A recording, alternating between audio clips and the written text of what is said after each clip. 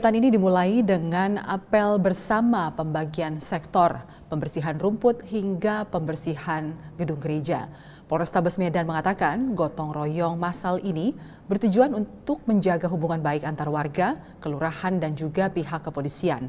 Kegiatan ini juga merupakan bagian dari persiapan acara safari Natal pihak kantor Wali Kota Medan.